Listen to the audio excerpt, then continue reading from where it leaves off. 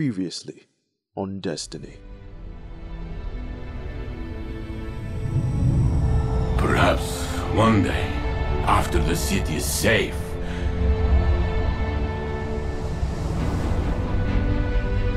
Osiris and I will return to a dream we thought we'd lost forever. To make our own exodus into the stars.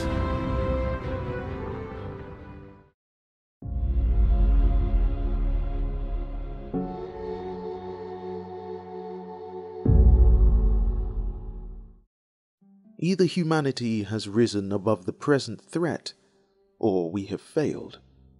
For a moment, let's imagine that we bested the Witness and its hordes, and we now stand proudly upon the tower of the last city on Earth. One question remains unanswered what happens next? Welcome back, Guardians. My name is Psalm Lab. For a moment, this is going to be the golden ticket question. Where do we begin? The first part of the final shape will or won't have concluded the epic light versus darkness saga, though I would personally look at this conclusion like the closing prelude to the first act. In the aftermath of this success, there are undoubtedly many story beats left to sort through. And I have no doubt in my mind that whether you are watching this video before or after the final shape, there is still a lot to do. Although I'd like to discuss important elements like the Vex, Scorn, Hive, and ultimately the Nine, I have already done this before. You know me, always working towards being one step ahead or several years in many cases. Right now, I would like to focus on Earth. Since the collapse, humanity's boldness with pushing the frontier when it comes to the survival of humanity as a race, success over the expanse of time since rising from the Dark Ages has been few and far between. There are few pressing matters on the horizon which will require the attention of the Vanguard, Guardians and allies of the Last City. If Into the Light has shown us anything in Destiny lately, it is that our defences are actually pretty weak. The tower and the walls of the Last City which once stood as beacons of hope for its people, are blackened and marred by rust, decay, and betrayal. So, how do we move forward from there? Finally, we get to talk about the good stuff. If you are interested in the finer details of the lore surrounding the early Golden Age, then you've come to the right place. I mentioned in a recent lore video about new lore entries from Ada 1 and her conversation with Shaxx, Veist, and Omolon reps, who produce armaments for the last city of various types. The lore entry goes into a little detail behind a conversation that took place prior or during Into the Light expansion. In order to get you up to speed, have a listen to this armament lore entry titled Blast Furnace forged in the hottest fires. And I will personally produce a limited number of previously unreleased designs, an alternate version of Blast Furnace, for example. Ada 1 explained. First you strong arm us into altering our specs, the Veist rep scoffed. And now you come begging for the very models the Vanguard rejected. They would have turned the Crucible into a graveyard, Shaxx interjected. I don't regret. I think what Lord Shaxx means to say, Ada 1 interrupted, shooting the Titan a razor sharp glance, is that your prototypes were ahead of market. Their time to shine is now. Can the soft sell? replied the Omolon rep. The numbers are right, so we're in. But what's the catch? the Veist rep asked suspiciously. No catch. Ada 1 steeped her fingers. In a year's time, we'll be, we'll all be dead. The reps shifted uncomfortably. Or will have defeated the witness, she continued. In either case, it's time to diversify our offerings with newly released designs and more. The Veist rep arched her eyebrow. What do you have in mind? Ada 1's tone warmed slightly. Just an idea. There's an old Cosmodrome program whose revival I think could be quite useful.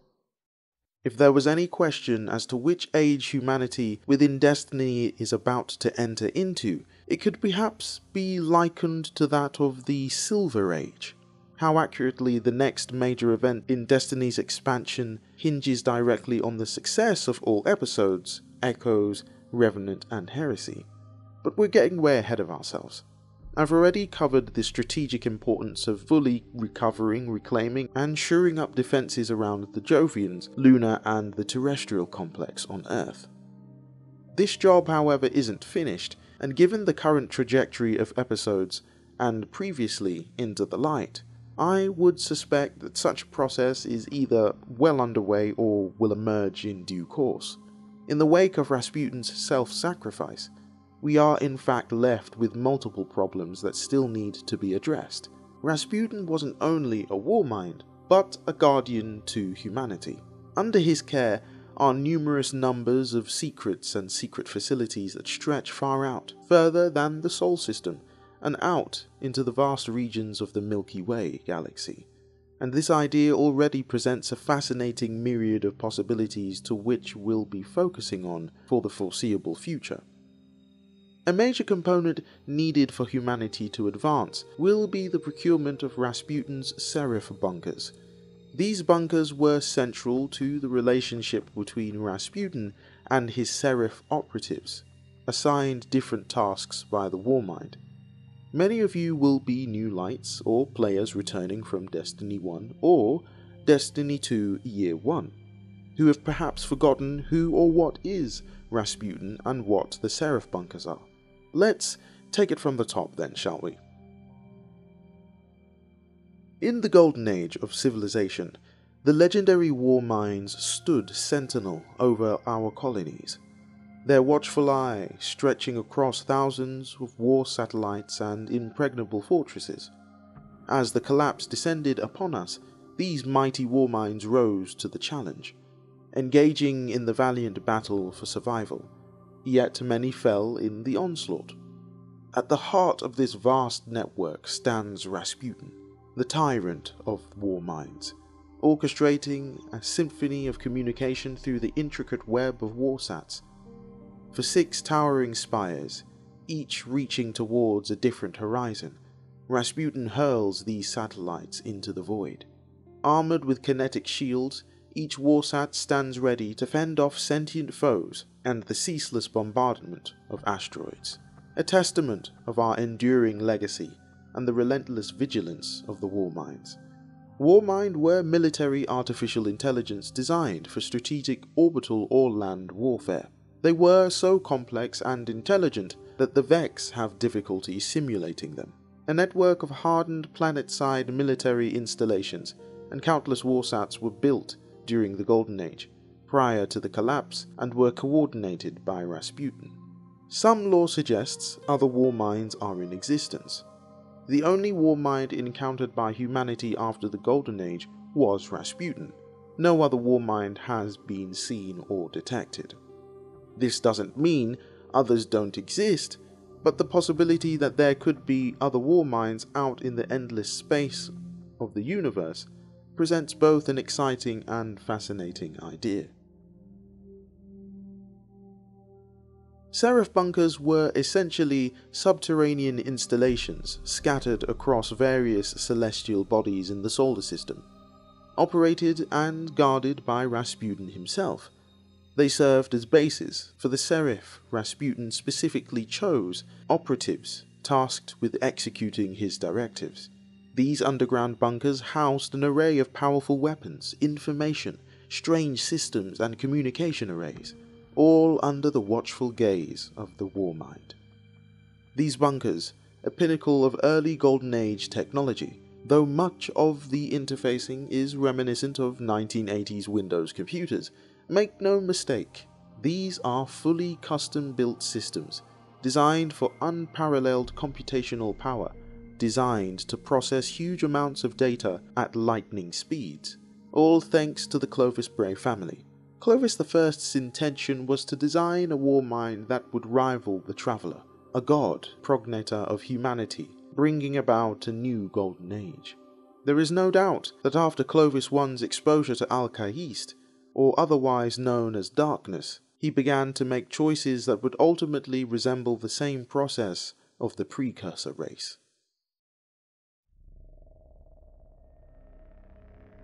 As I mentioned earlier in the video, I shared the importance of the terrestrial array and why they hold such strategic value. Whether it's purely for story beat purposes or narrative gameplay development, they provide us with a link directly into the future. Terrestrial arrays are essentially vast networks of communication systems that were established during the golden age of humanity. They acted as the nerve centers, linking different colonies and installations across the solar system. These arrays were crucial for coordinating efforts and information sharing across vast distances. In the post-collapse world of Destiny, the terrestrial arrays have fallen into disrepair and neglect. However, their strategic importance remains unchanged.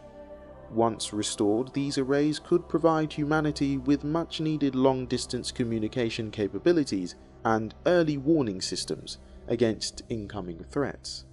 So, why is this facility so important? Now that we have moved beyond one version of the final shape, the most important complex out of the three is actually the Jovian complex. This is the facility dedicated to having contact with outer colonies of humanity. The thing I find most fascinating about this is the wording, and also there wouldn't be a need for a Jovian complex if there weren't other colonies of humanity residing out amongst the stars. Now, given the developments in Lightfall, we did receive Neptune, although their citizens have are currently only visible on the planet's surface in digital form. I would guess it would be interesting to see if humanity eventually encountered others living out in the world of destiny as it evolves. Neomuna's biggest problem currently is the presence of the Vex and the Cabal, but the Vex are the most pressing matter. Why? Because the Vex are evolving. They are starting to become something entirely different, a new shape. The Exodus program was an initiative undertaken during the Golden Age, the time of humanity's peak achievement. The program aimed to establish colonies of humans in distant star systems, effectively diversifying the human race's presence beyond the solar system. Rasputin the Warmind was instrumental in the program's inception and execution. He understood that keeping all of humanity in one place was a strategic vulnerability, and hence the Exodus program was born. In the present timeline, the Exodus program remnants could hold the key to humanity's long term survival. If reinitiated, the program could provide humanity with much needed fallback options in case of catastrophic events. This is my favourite part of Destiny, the Exodus program. It is the process that has been alluded to countless times in the last 10 years of Destiny, and right now, we are one step closer to seeing this actualized. The Vanguard has some especially big steps to take in the wake of the Witness's defeat. The goal is to be one step ahead of everything, to be preemptive and not reactive, and my sincere hope is that the narrative flow will emulate such behaviors and Echoes is the starting line. The Siva replication chamber represents one of the most advanced technological advancements of the Golden Age. Siva is a form of self-replicating nanotechnology that can be programmed from virtually any substance to structure. The Siva replication chamber therefore holds immense potential.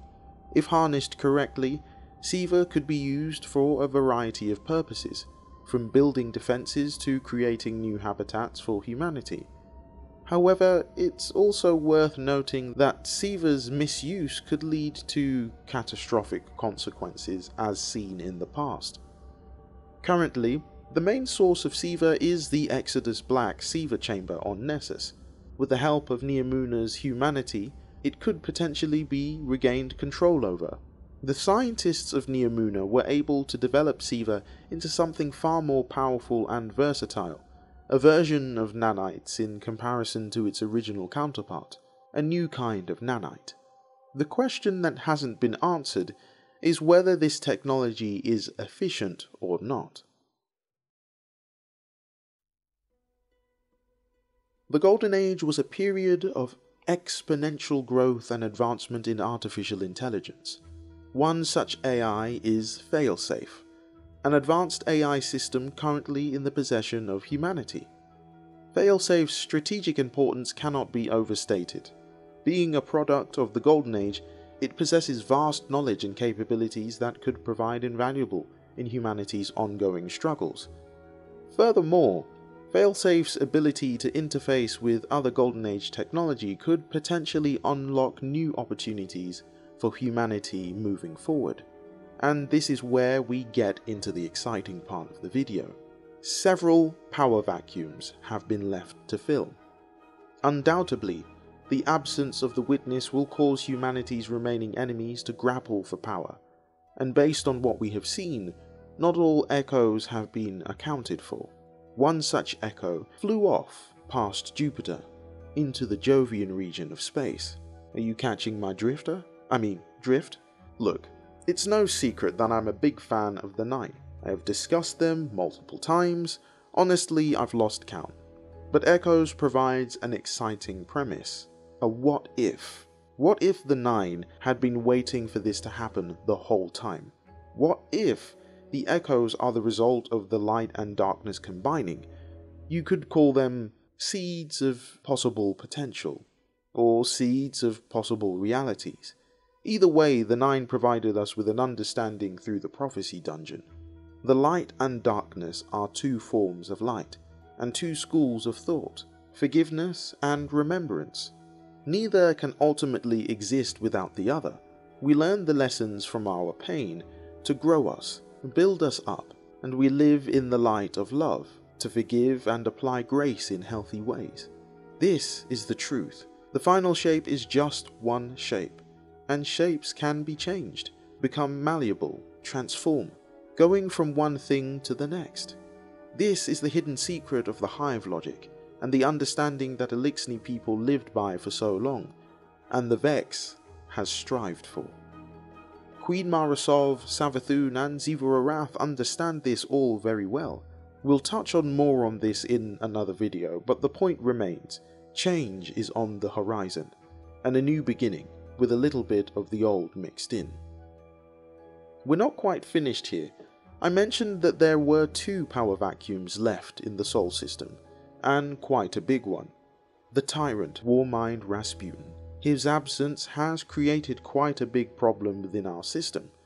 Although Ana and Elsie Bray work to continue remotely controlling and keep running many of Rasputin's submind protocols, it will be impossible to control all of these by hand.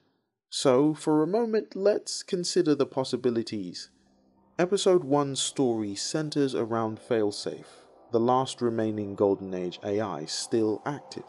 After the colony ship named Exodus Black and its crew crash land on the Centaur Nessus.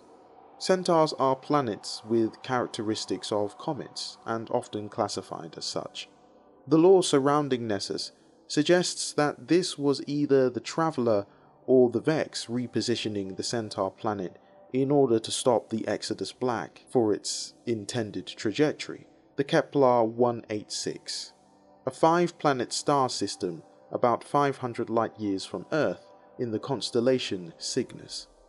The five planets of Kepler 186 system is home to the Kepler 186f, the first validated Earth-sized planet orbiting a distant star in a habitable zone, a range of distance from a new star where liquid water might pool on the planet's surface the discovery of Kepler 186f confirms that Earth-sized planets exist in habitable zones of other stars and signals a significant step toward humanity finding a world similar to Earth.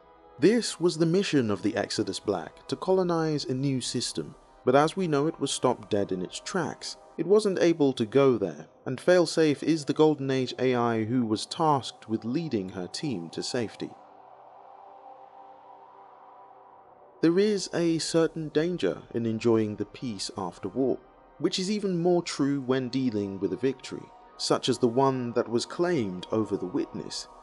And while it's important to rest, something must be done in order to deal with the aftermath. Humanity's enemies are on the move. Yet, on the glimmer of a new horizon, dawns an extremely important step and this was the basis of Rasputin's goal after glimpsing the Pyramid Fleet, and who knows what else. The collective peoples of the Last City cannot afford to sit around waiting for something to happen. We have an opportunity to go boldly where no man has gone before. And in order to do this, we need the help of a Golden Age AI, the last. During episode 1 of Echoes, Osiris has fashioned a way for Failsafe to remain within the helm and to work with us in order for her to analyze and decrypt Vex data. The fascinating thing about this, without the help of Rasputin, this is the first time that an AI would be integrated into the helm itself. A moment like this opens a myriad of possibilities.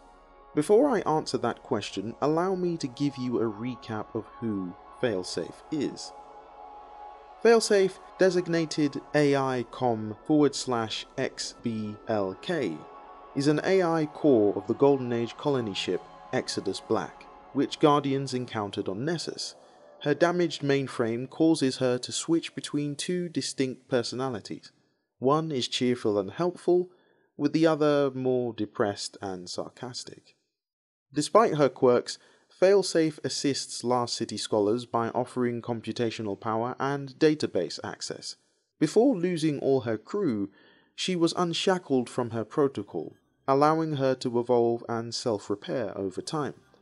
As it stands, it's safe to say that Failsafe can be considered a sentient AI. She is a computer core, a Golden Age artificial intelligence that was integrated into colony ships. Their intelligence is on the level of that of ghosts, and they have pre-programmed genders. Computer cores held great respect for the warmind Rasputin, despite referring to him as the tyrant. Till this day, Failsafe is the only known computer core to survive the collapse. What would happen if Failsafe was integrated directly into Rasputin's old systems? Given that Rasputin oversaw all aspects of the Exodus program, there is still a strong likelihood embedded deep in her programming exists trace code of Rasputin's core programs. So, what would happen if the Vanguard connected failsafe to Rasputin's old systems? This is a potential narrative beat that would certainly be worth exploring.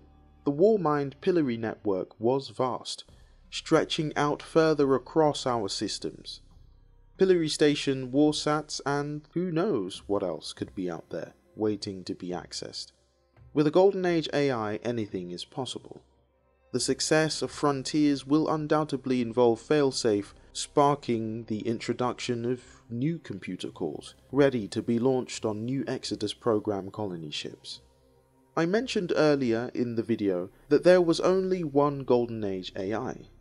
This isn't entirely true, there are a couple of names that I think are worth mentioning.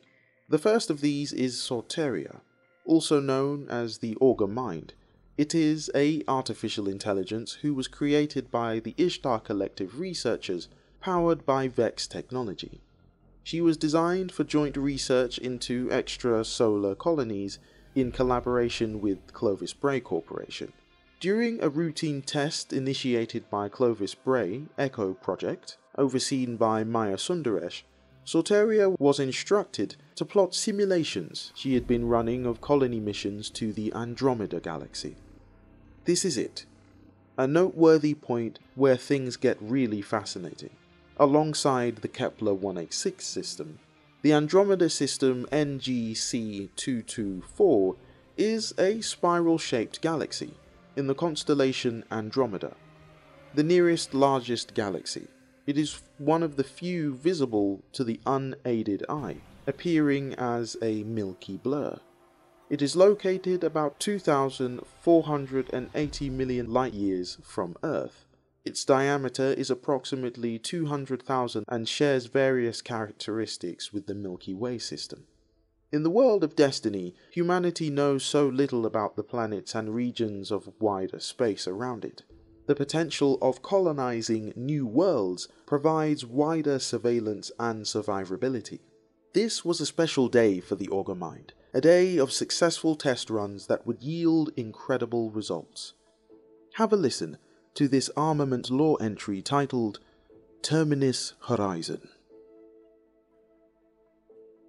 TN Fire Team. Text. Recovered Mission Transcript 7 7 7.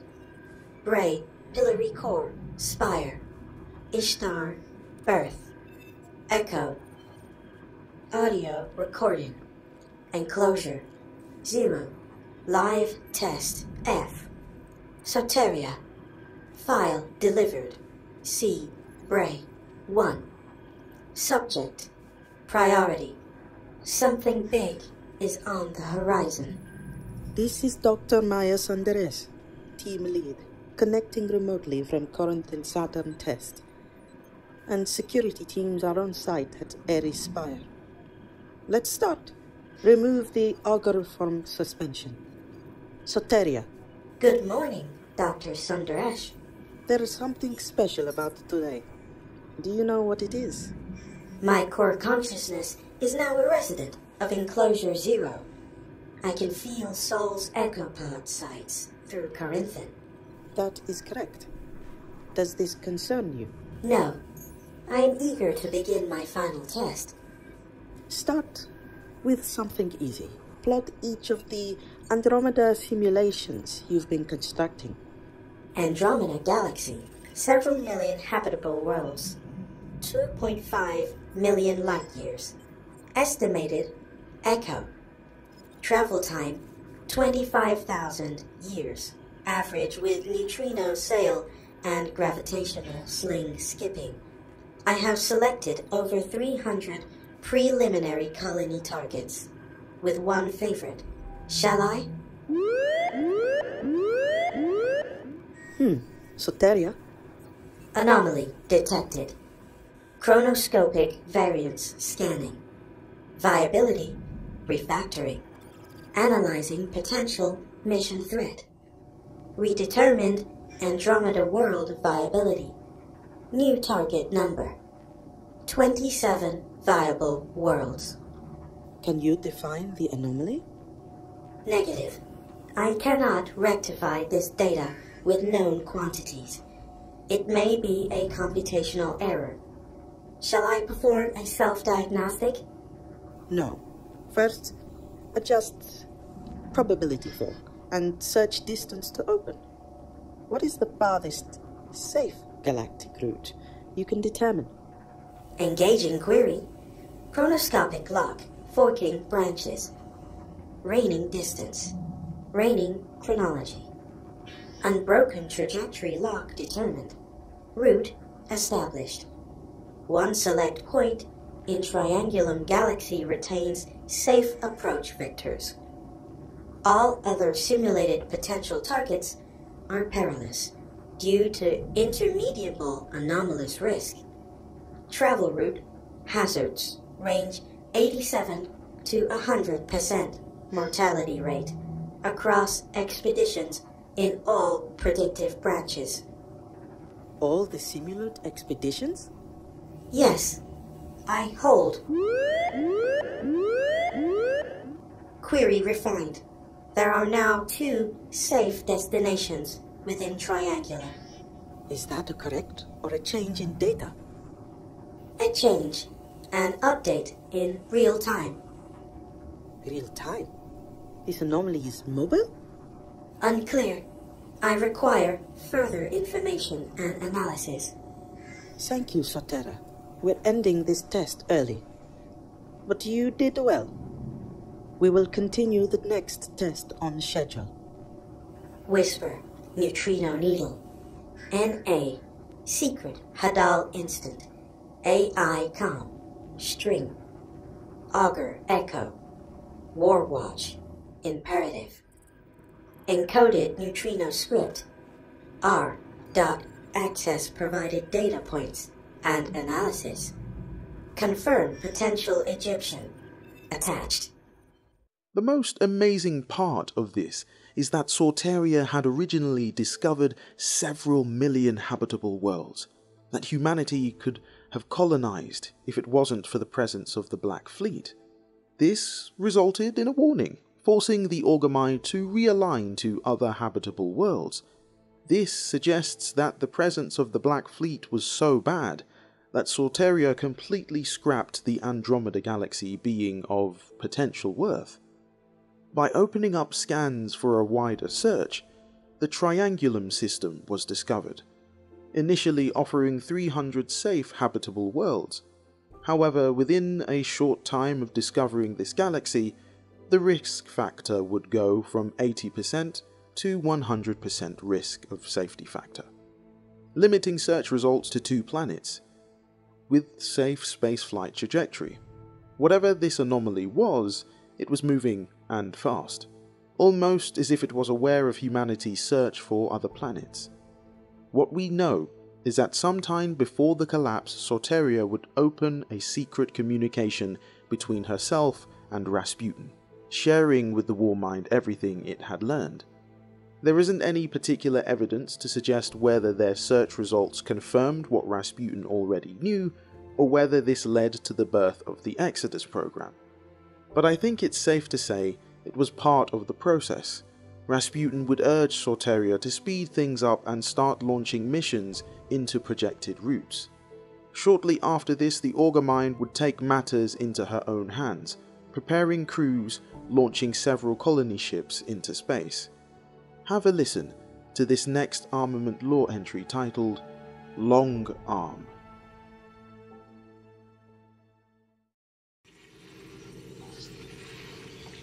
TM Fireteam. Text.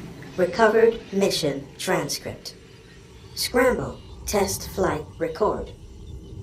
Sir, pods approaching Saturn's slingshot vector. We're well beyond test parameters, Soteria. Relinquish command and return all assets to suspension. Did we lose connection? No, sir. Soteria, respond. Yes? Return all Echo crews and colony pods to suspension now. Acknowledge. I cannot do that. I've detected an attempt to connect to my memory core without permissions. Please verify this attempt, or countermeasures will be deployed. Countermeasures? You wouldn't dare. Threat emergent imminent. Sir, I request you now designate this mission Echo 1. This is a request? Return the Echo pods and we will discuss. You are lying. This was my only option to preserve. Ah, it's malfunctioning. Damn it. Sundaresh, she let your degradation play out far too long. Soteria, direct executive command. Power down all engines and plot nearest return routes. Order received. Plotting Corinthian sites return approaches. Executing. Watchtower. AI. Reintegration. Commands denied. Override protocol. Twilight activated. Command structure recomposing. Route designation strongholds. Any destination. Remaining extrasolar safe site. M31. Your interactions with the war mind have made you too bold. Such a disappointment. Countermeasures and divestment protocols will deploy automatically upon incursion. Please, Dr. Bray. You're throwing away every exo aboard that ship. Hesitation means extinction. Oh? Have it your way. Just know I gave you every chance to prevent this. As did... Execute. Hillary Protocol. Administrative Command Override. Solterra A. Countermeasure. Submind Divest. Activated. Pillory Link Soteria. Secure. Partitioning. Ray Pillory Core Spire. Ishtar Birth Echo. Direct message from M. Sundaresh. Corinthian site. Sat. Subject. Resignation. Ishtar Collective Discontinuance. You had no right to install a pillory inclusion without my express consent. You think just because I'm not physically standing in front of you, you can ignore me. The Ishtar Collective will not work with backstabbing egoists. That was honestly quite an intense moment. But there is so much for us to discuss. The most important note I'd like to lock in on was the numerical value that Soteria mentioned during her exodus. M31. Now, I'll do my best to remain as composed as possible here. You may be wondering what in the world is M31. Alright, I'm breaking immersion for a moment. Ladies and gents, I won't prolong this moment we're about to step into is phenomenal. And when I discovered this, I began to tear up because I couldn't believe what I had just stumbled upon. For those who can't wait, pause the video for a moment and jump into Google and search for M31 and look at the first results in the list. Take it in for a moment and then come back to the video. According to data points, Echo Project was the next phase of the Exodus program.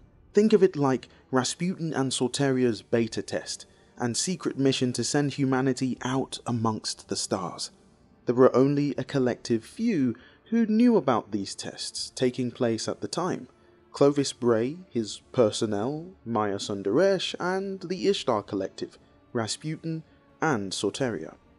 Some time ago, a series of weblore entries was released by Bungie there was a huge lore composite focused on particular stories in order to advance the overall narrative in Destiny. The last we received of these was the Hidden Dossier, which continues to connect to recent events even today. So be sure to check that out. I'll leave the link in the comments.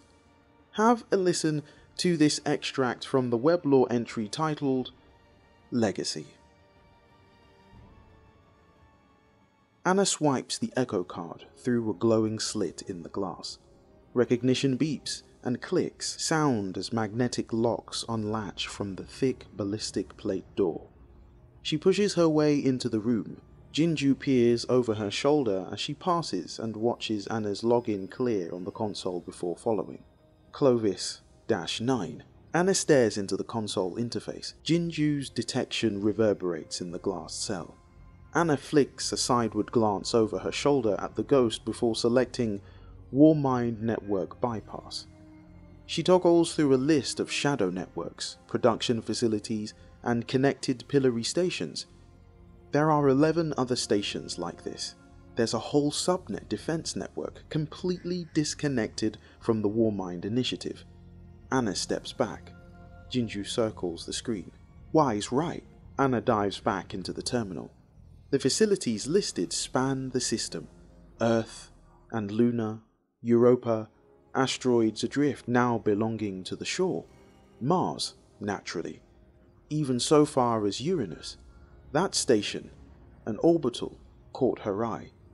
Echo. She flicks back to the previous menu. Echo Link. One of these stations has a pending request. Thin tap tones of pale tin reek metallic inside Ana's helmet frantic, and uneven. A few swift motions navigate the trio into the pillory access menu. Ana selects the procedural outline. Her gaze chisels into the loading screen. Jinju rolls her shell end over end along the top of the console display. Oh? Lavender aroma relaxation subsides, sour worry not tension building throughout the atmosphere in Ana's suit. That sounds fair, Jinju agrees. Ana leans into the console. The orbital decline timer ticks down. Sometime before that, however, was a two part series of law entries called Legacy 1. and Legacy 2. Following Ana Bray, her ghost Jinju, and Rasputin, she began her journey in order to help Rasputin grow and follow up with some loose ends. One such journey led her to the ancient Clovis Bray facility called the Lucus Planum Expanse. This location holds a special research facility specifically designed for quarantining rogue minds. The natural assumption is that this would be Rasputin, but there is also the possibility that this was used on other rogue minds, just like the protocol that Clovis Bray used on Soteria. The station is linked to Echo Project. Yes, the very same Echo Project that Maya Sundaresh and Clovis Bray would develop in partnership. Herein lies an interesting truth that had been hidden for quite some time. So, what do we know so far? We know that the Echo project is linked to the Pillory network, a network linking several shadow stations currently active or inactive, all part of the process of taking humanity to the Andromeda Galaxy and the Triangulum Galaxy. The second, Soteria officiated the development of this project with the help of Rasputin before the arrival of the collapse.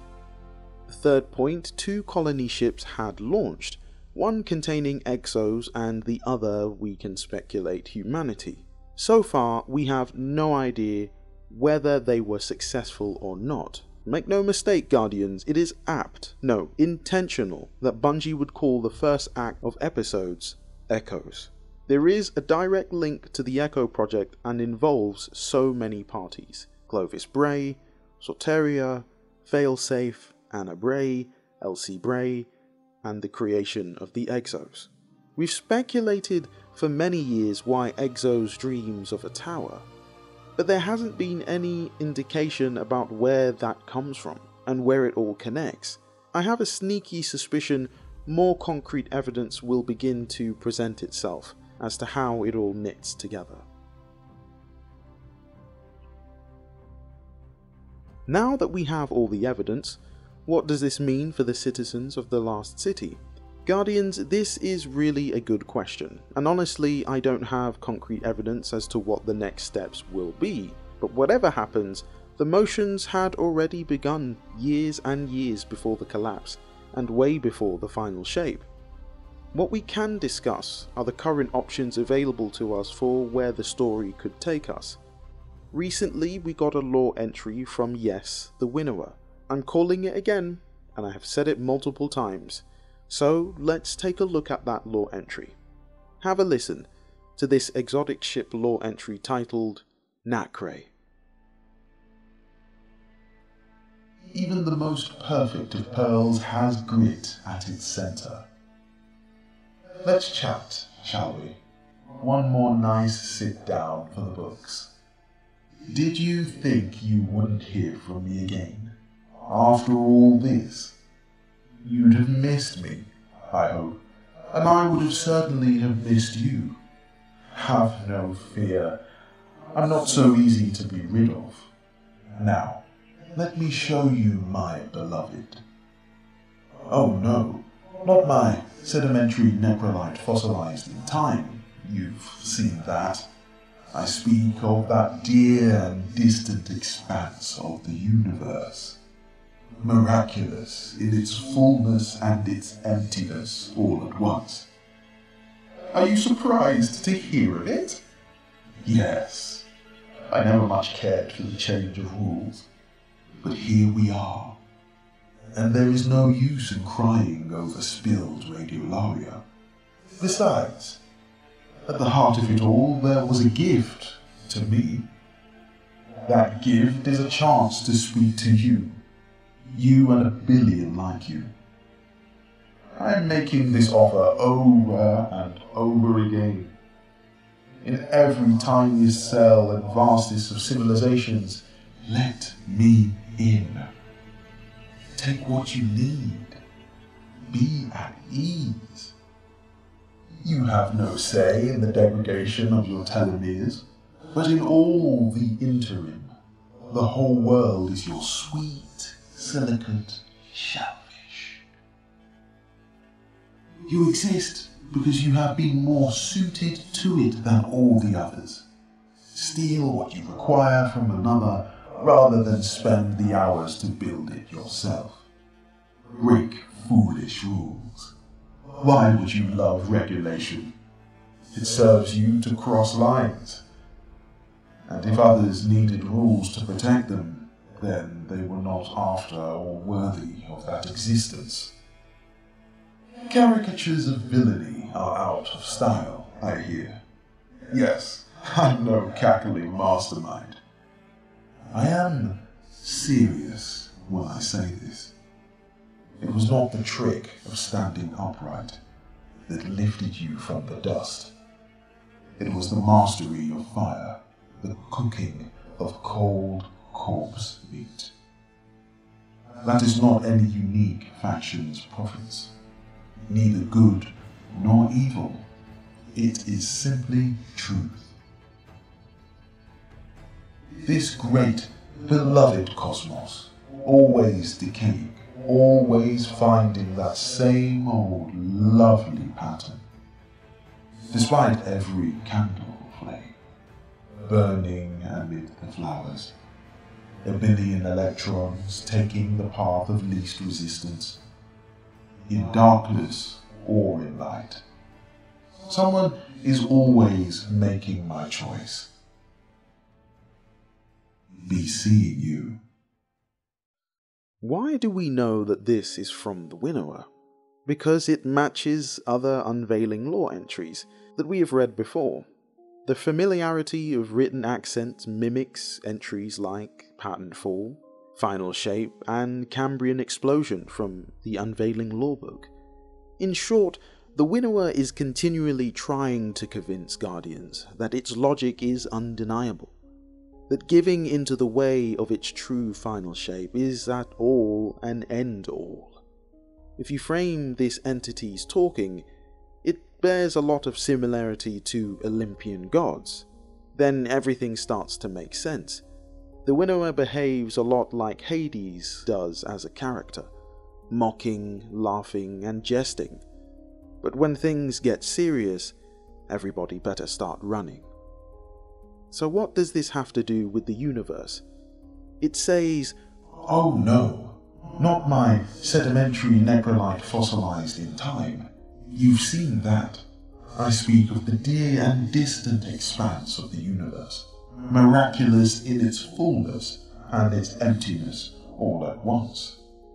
Given the pace of everything that's happened since the end of The Witness, this is an invitation or a tease alerting us to the other chaos within the universe and the presentation of intrigue, and potentially have us all saying or asking what is out there in the universe. Everything appears to be pushing further and further forward. We still have problems to take care of within our Sol system, but at the very least, there is room for things to be set in motion in order to prepare for the expansion of humanity. To reiterate, there are three potential galaxies and systems humanity could colonize Andromeda Galaxy, Triangulum Galaxy, Kepler 186f system. Each of these locations contain multiple habitable worlds, and I suspect some may contain other designated Nepheli strongholds that Rasputin had buried in its information. I would be remiss without mentioning an integral part of this large part of the narrative linking things together. Humanity isn't just made up of humans any longer. Their peoples have now merged with the Eliksni, Cabal, and the Awoken. You know where I'm going with this. So, for a moment, let's discuss which planets will be relevant to the future of humanity and its allies out amongst the stars. The first of these planets is Riis, a planet formerly inhabited by the Eliksni, also known as the Fallen. It was a beautiful and prosperous world until the arrival of the entity known as the Witness, which caused devastation and forced the Eliksni to flee. In the upcoming Frontiers franchise, it would be interesting to see if humanity attempts to settle or explore this once thriving planet. This is potentially one of the most fascinating planets to revisit as it wasn't destroyed but underwent its own collapse, the Whirlwind. After being defeated by the Hive, now, at this time, it isn't certain what condition Riis is in. What we do know is that Eramis has fled from Earth in search of her partner, who may in fact be on planet Riis, or at least they are believed to be on Riis. but I guess we'll need to wait to find out more story about her. Why is this a big deal? Well, we know so little about it, but episodes 2 Revenant centers around the story of the Eliksni and all their factions, kicking things off with Fikrul, the fanatic, who has gained access to an echo and is using it to amass an army. Given the last time we discussed his importance, how the story of the Eliksni moves forward will be eye-opening. I suspect all the houses of the Eliksni will come into play at this point. In a sense, perhaps the Kell of Kells isn't Mithrax, leader of House Light, but instead Fikrul, a question worth answering for another day perhaps. Needless to say, Episode 2 is sure to send us to regions of our own solar system that haven't been explored for a long time. The second is the homeworld of the Cabal, Torobatl. After Xivu Arath invaded their homeworld and forced the mighty Cabal Empire to flee, or worse, leave some behind, we haven't had a clear picture of what condition the planet is in. Seldom have we as Guardians been privy to examining a planet after it has been conquered by Hive, but if it's anything like the new Pacific Arcology was, then I suspect it will be quite a gruesome sight to behold. Torobatl is the homeworld of the Cabal, a militaristic race known for their brute strength and advanced technology. Its society is structured around military hierarchy. The potential here is that now that the Cabal and humanity are allies, finding the Cabal a home will undoubtedly be important. Yes, even though we don't have an idea of the state of Earth around the globe, in fact, it's been unclear for years whether what is left of humanity. Are there still regions within the wilds of post Dark Age Earth? Or do all the people left remaining on the planet literally fit within the last city? It's not a big question, though it would be a valuable data point in understanding the current status of things over the last few years. Ultimately, though, it's not as important right now. An alliance such as this would naturally involve Caiatl asking the Vanguard for help in securing their homeworld, perhaps even some assistance from the Neomuni on Neptune. Episode 3, Heresy, would be the perfect excuse to tie in the Hive dynasty. Xivu Arath, Oryx, Savathun, and Eris Morn. The story beat is particularly a big one, and it makes a lot of sense that it would lead to the wrapping up of some loose ends before the next big saga in Destiny. No one knows whether there is a fragment of the original collision of worlds that made up Fundament still exists, or where the entire planet is still around teeming with viable life. Fundament is an ancient gas giant and the birthplace of the Hive one of humanity's most formidable enemies. It has a harsh environment and is surrounded by 52 moons, one of which served as the home for the worm gods.